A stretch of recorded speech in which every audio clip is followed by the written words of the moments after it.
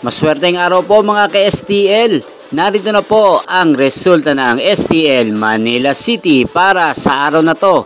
Naway ang mga natayaan niyo pong mga numero kanina ay manalo nawa ngayong oras na to. Kaya't kunin niyo na po ang inyong mga tickets. Narito na po ang resulta.